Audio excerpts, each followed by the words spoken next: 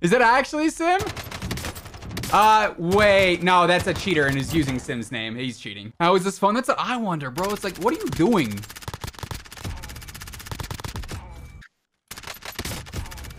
Good lord. I, switched to his teammates there. They still have one kill and zero kills. Oh, how the turntables. All right, he's back in the game, Chad. He's back in the game. Oh, he could be out of it.